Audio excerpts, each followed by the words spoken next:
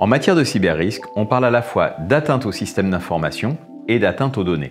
Extorsion de données personnelles, confidentielles, voire médicales. Consécutive généralement à un acte malveillant ou de terrorisme, une erreur humaine, une panne ou un problème technique, ou enfin un événement naturel ou accidentel.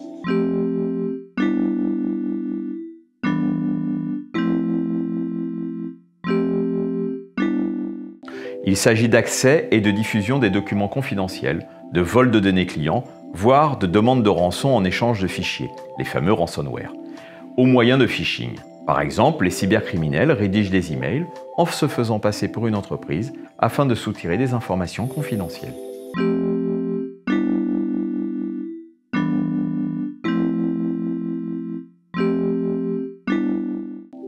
Les contraintes réglementaires obligent de notifier toute fuite de données dans un délai de 72 heures aux clients qui ont été attaqués au travers les fichiers de l'entreprise et à l'autorité de contrôle, c'est-à-dire la CNIL.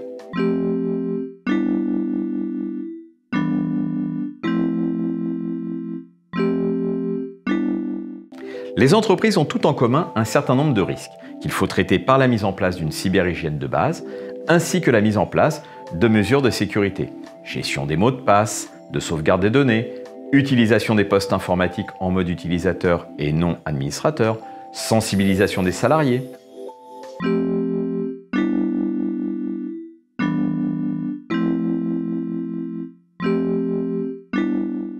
Quelle que soit leur activité ou leur taille, qu'elles soient domiciliées en France ou qu'elles ciblent le marché européen, toutes les entreprises qui collectent ou traitent des données personnelles sont concernées. L'absence de mise en place de mesures visant à protéger ces données peuvent entraîner un simple avertissement, voire une amende pouvant aller jusqu'à 4% du chiffre d'affaires ou 20 millions d'euros.